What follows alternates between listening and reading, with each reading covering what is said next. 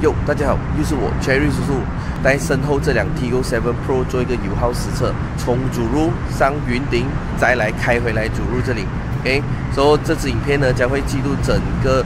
呃过程啦，OK，那么有兴趣的呢，千万不要划走，影片会有一点点的长，OK，那么 Let's go。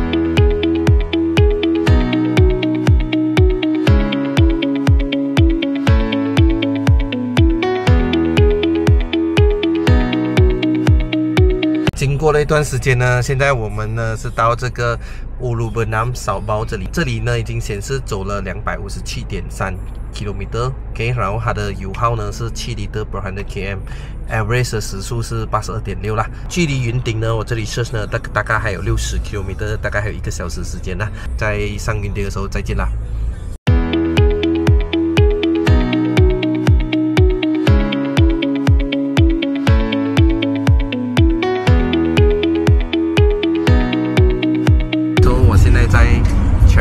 Cherry Tiggo 7 Pro 这里的后座，可以，可以看到我，可以还是坐的蛮舒服的。头部空间那边还有很大，诶，脚这里超过一个拳头，还有加上还有一个 armrest，诶，所以我手可以这样子放，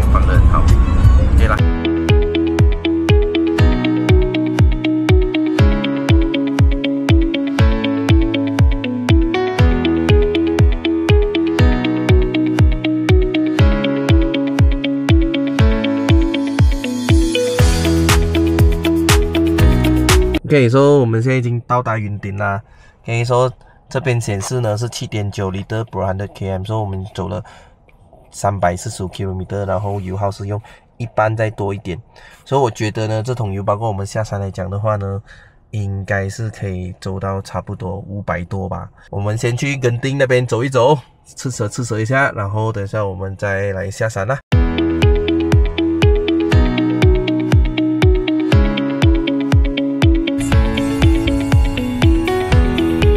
油耗测试呢就已经正式结束了。OK，说我们从呃大三角开到去云顶，到现在这里呢是苏埃贝拉的这个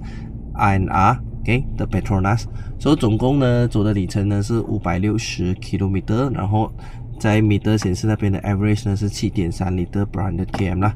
这两的提勾器的油耗呢，其实跟呃欧摩达5的油耗呢，实际上是相差并不太远的。OK，所以如果你们觉得 Tigo Seven 的油耗不错来讲的话